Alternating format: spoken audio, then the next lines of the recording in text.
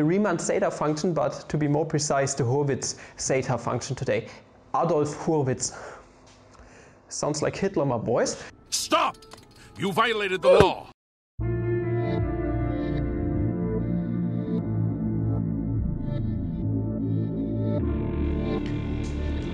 Good morning, fellow mathematicians. Welcome back to another video.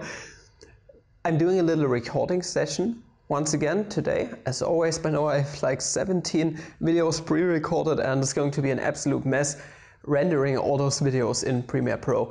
But yeah, I just recently noticed like a second ago that I was referring to the digamma function all the time as polygamma function. So this is not wrong. I have said that the digamma function is just a zeroth polygamma function, polygamma of the zeroth order. That's why I said we can actually rewrite it like this right here. Okay, that's another type of notation of the polygamma function. But yes, still, I wanted to keep the terminology right and say that this is the digamma function. But yeah, here goes. Today we are finally going to introduce the polygamma functions of the nth order and also with that stuff out of the way, we can actually derive the Taylor series expansion for our boy, the digamma function right here. And it's going to be pretty exciting because there's yet another number theoretical connection between our gamma function and this time even the digamma function and another really cool boy that we have talked about before, kind of the Riemann zeta function, but to be more precise, the Hurwitz zeta function today. Adolf Hurwitz. Sounds like Hitler, my boys. So yeah, before we can dive in a bit more, I want to change notation once again. The zeroth polygamma function is the same as the digamma function, but its zeroth derivative with respect to z.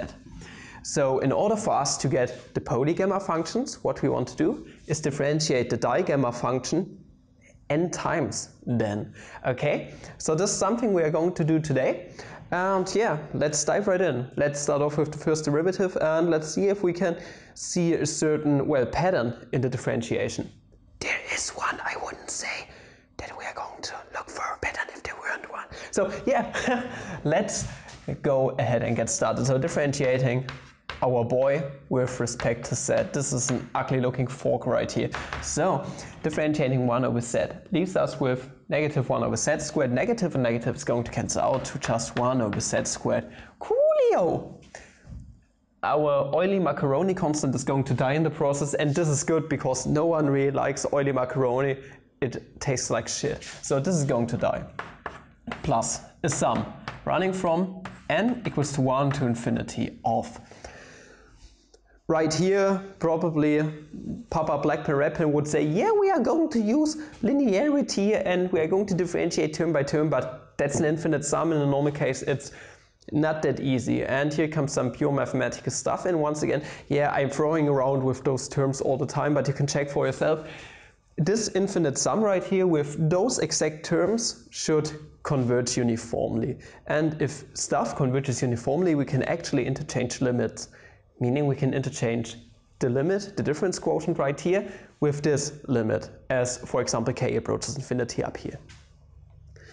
Meaning we can kind of use the linearity of our differential operator to differentiate in here term by term just because of this uniform convergence.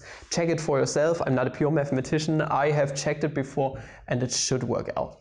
So differentiating 1 over n with respect to z is going to result in certain death. So this thing right here is going to die out just like the Greek people 3000 years ago or whatever I said in this one video where I complained about uh, mathematical notation in Greek letters. Oh yeah, the um, letter theta. also we are going to differentiate this thing right here with respect to z. And I want you guys to notice 1 over n plus z is nothing but n plus z to the negative 1 power. And differentiating this is quite easy. Dragging the negative 1 down, negative and negative is going to become positive, reducing the power by 1. So this is 1 over n plus z squared, or n plus z to the negative 2th power to the negative squared power. and then inner derivative is nothing but 1. So, et voila, we've got this. I want you guys to notice something else. We can actually make this a little bit more beautiful, beautiful we don't really have a zeroth term right here. So not a term where n is equal to 0, but I want you guys to notice if we would have one, then it would be 0 plus z squared. This is nothing but z squared in the end, because 0 plus z is just z. If you have another fucking apple and you don't place another fucking apple next to it, then you still have this fucking apple right here, this, this only one that you have originally. And well, the cool thing is we have this 1 over z squared term right here exactly. So what we can do, we can actually rewrite this as the sum running from 0 to infinity of 1 over n plus z squared. Or like my grandma would say, n plus z to the negative 2th power. Okay? For differentiating more and more, we want to make sure that we are going to write it like this because for most people this is way easier to um, yeah rewrite. Okay, now we're going to differentiate a second time and see what we get. And now the simplified so nicely and once again those sums are going to be uniformly convergent all the time so we can just drag the differential operator to the inside all the time. So now we're going to get the second derivative of our digamma function, the second polygamma function, which is nothing but sum running from n equals to 0 to infinity of this thing differentiated, tracking the negative 1 down Okay, this is negative 1 to the first power. I'm going to put it like this. Or you can say this is negative 1 to the third power. It's an odd power. That's where I want to get at. And also, we are going to have um, n plus z to the negative third power. Also, we are dragging down the 2. We have dragged down the negative 2th power. So this is 2, and then 1 over n plus z to the third power. I'm going to leave it like this. Let's differentiate once more and let's see if we can see a certain pattern. Sum running from 0 to infinity of dragging, okay, this thing right here once again is n plus z to the negative third power. Dragging the negative 3 down is going to give us positive 1, but this is negative 1 squared, or negative 1 to the fourth power, I really don't care. Dragging the 3 down leaves us with 2 times 3 times 1. So if you only have one apple, then you only have one apple, you see? So this right here actually was 2 factorial in disguise, and this thing right here is 3 factorial in disguise. And then we are going to have 1 over n plus z to the fourth power. And I hope you can already see the pattern right here. So if we differentiate more and more, okay, getting more and more polygamma boys, we're actually going to end up with the nth polygamma function. And I'm not going to put it as n for reasons that will become apparent in a second. I'm going to put it as the s, s differential, our s polygamma function, which is nothing but, okay, on the odd derivatives, we actually got ourselves an even power on negative 1. Meaning, we are just going to put it as negative 1 to the s plus 1 power. Okay, that's something we can do if we have 2. For example, we have negative 1 to the third power. So this is something that works out quite nicely, or s to the uh, s minus 1 power right here, it really doesn't quite matter. Also, on the third derivative, we had 3 factorial. On the 2th derivative, second derivative, we had 2 factorial, meaning we are going to have s factorial right here. And those are just constants. We can bring it to the front of our sum. And then we are going to have the sum from n equals to 0 to infinity of. On the first derivative, we had 4. On the second derivative, we had 3. So this is actually 1 over n plus z to the s plus 1 power. Okay? And et voila, those are our polygamma function of the s order, s, s, s order. I know choosing the letter s isn't quite nice to spell, but it does make sense if you introduce a certain function right here. I want you guys to notice if we plug 1 into here. Okay, if we plug 1 into here, instead of z, then we are going to get n plus 1 to the s plus 1 power. And for z being equal to 1, I'm going to show you an easier example.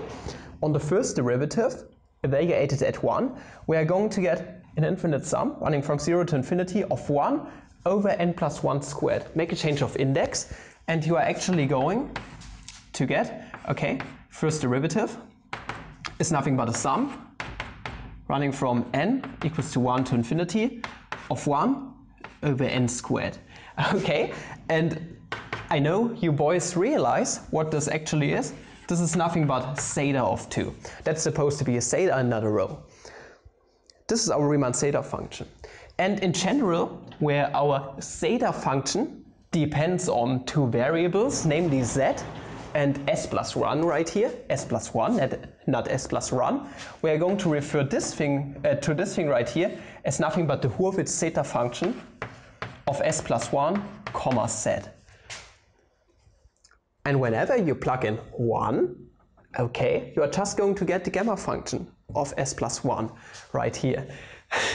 and this is absolutely cool. So yeah, at 1 evaluated Riemann zeta function evaluated at z is just a Hurwitz zeta function, a zeta function dependent on two variables. And you see this formula only holds for s being element of the natural numbers without zero. So on the zeroth term, the digamma function this really doesn't hold. But we have calculated the s de derivative, nth derivative, kth derivative, whatsoever, meaning whenever we know about the derivatives of a function and whenever this function is infinitely often differentiable, which it is, this is just a rational function and it's really easy to differentiate infinitely many times, we can actually expand this thing right here into a Taylor series. This digamma function is thus obviously analytical and this is fucking cool and that's what we are going to do next. Since we haven't done any Taylor series stuff for like a month now, I've written out the formula for Taylor series expansion and the cool thing is we are allowed to continue functions using this formula at a different spot than zero. So not a Maclaurin series expansion, we can take a look at the digamma function being evaluated at x not being equal to 1 and like I said before, it's going to turn out pretty nicely when we plug in z being equal to 1. So, here it goes. We are going to turn our digamma function of z into a Taylor series expansion. The thing is, like I said before, this formula for the s derivative only holds for s being element of the natural numbers without zero, meaning our zeroth term, the digamma function in, in itself is kind of the odd ones out, okay? So it's an odd derivative, it's weird, it has this weird Euler-Mascheroni constant in here, that's why we have to treat it more carefully. Meaning we're going to just drag stuff out. So the first member of this thing, not the first, the zeroth member, we are going to drag to the outside. This is just digamma function in, in itself, evaluated at 1, where our z naught x naught is being equal to 1, plus the sum running from n equals to 1 in this case to infinity of our nth derivative of our digamma function the polygamma function of the nth order, evaluated at 1 over n factorial times z minus 1 to the nth power. I don't want to mix my notation up right here. Also, this s right here is going to be an n in a second. Let us take a look at our digamma function evaluated at, at 1. Okay, so we have negative 1 right here. Negative Euler-Mascheroni constant plus sum running from 1 to infinity. Let's take a look at the sum first member is going to be 1 minus 1 half then. Plus 1 half minus 1 third. Plus 1 third minus 1 fourth. It's a telescoping sum. Everything except for the very, very first term, which is nothing but 1, is going to cancel out.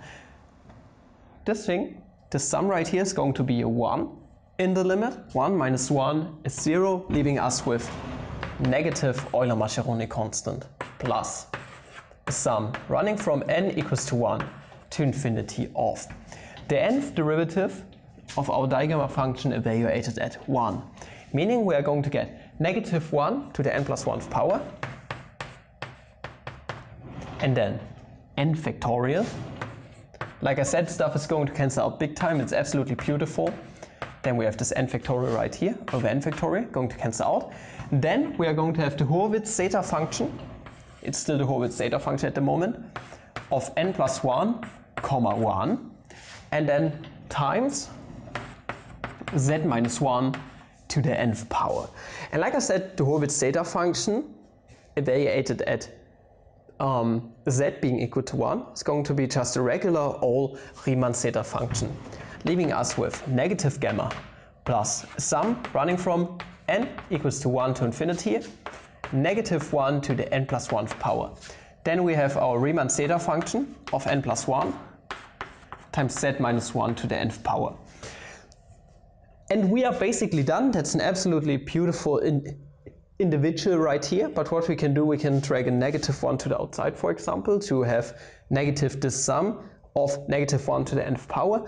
Then we can just collect those terms and bring the negative 1 to the inside. Meaning we can make this even more beautiful by turning our digamma function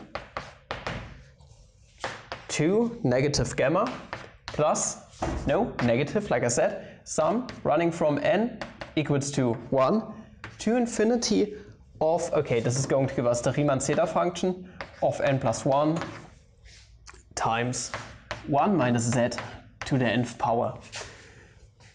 And this is it. This is our digamma function turned into a Taylor series expansion and this is pretty fucking cool. It's a pretty nice formula. If you would expand this right here, you are going to get an infinite series inside of an infinite series once again. And yeah, it's absolutely beautiful. It's so cool looking and this Taylor series is actually quite useful. So you can evaluate a, a lot of stuff using it. I thank you guys for watching. If you did enjoy this video, please like, subscribe and recommend the channel if you like. If you want to support channel a bit more, buy those t-shirts I created or support channel on Patreon. Up until next video, have a polygamma day. See ya!